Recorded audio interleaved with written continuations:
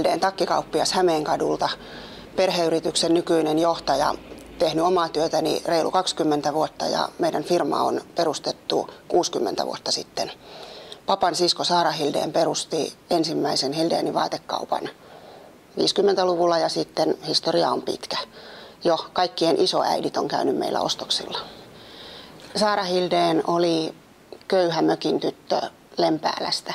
Hän aloitti työuransa bussin rahastajana ja sen jälkeen perusti oman vaatekaupan. Vuosikymmenten varrella kauppa kävi tosi hyvin ja hän keräsi merkittävän taidekokoelman, joka nykyään on omassa museossaan. Nykyään vaatekaupan pyörittämisellä ei osteta pikassoja, mutta on tämä silti mukavaa. Mä itse olen yrittäjäperheen esikoinen. Mulla on kolme nuorempaa sisarusta ja meillä on aina tehty töitä.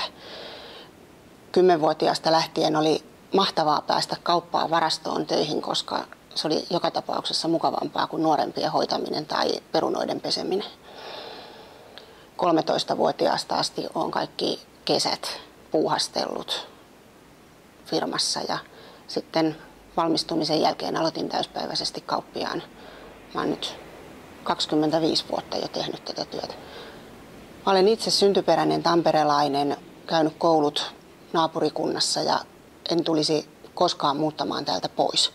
Minusta nykyiset keskustan kehityshankkeet on ihania. Siirtymävaihe tulee olemaan meille kaupoille varmasti vaikea. Nyt kun puhutaan ratikasta, tunnelia tehdään. On haasteita, mutta jos ei jotain tehdä, kaikki kuolee. Hämeenkadulla on aivan ihana toimia kauppiaana sen takia, että Hämeenkatu on kaupungin valtaväylä. Paljon puhutaan liikennejärjestelyistä. Höpö höpö. Mihinkään ei ole niin helppo tulla Suomessa kuin Tampereen Hämeenkadulle. Meille se on ehdoton valtti. Meillä on näyteikkunat. Ihmiset tietää, missä me ollaan, vaikka monet kokee, että ollaan ehkä vähän kaukana keskustorilta.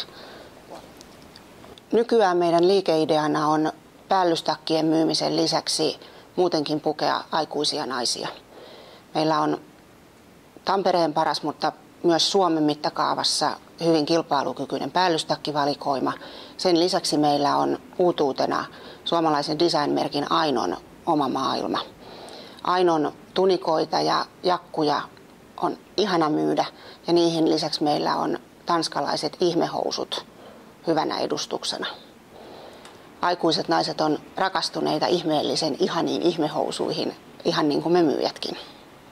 Meidän nykyinen tuotevalikoima on käsin poimittu. Minä ja luottomyyjä kuljetaan messuilla ja valitaan. Meillä ei ole tiettyjä tavarantoimittajia, vaan joka sesonkiin valitaan parhaat palat.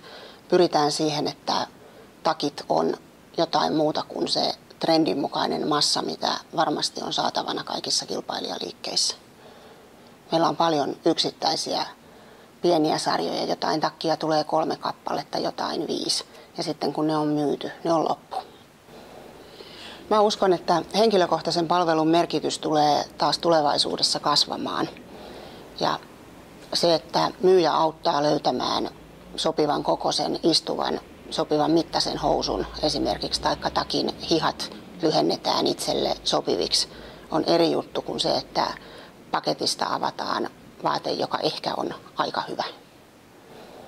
Mietin itseeni kaupunkilomailijana.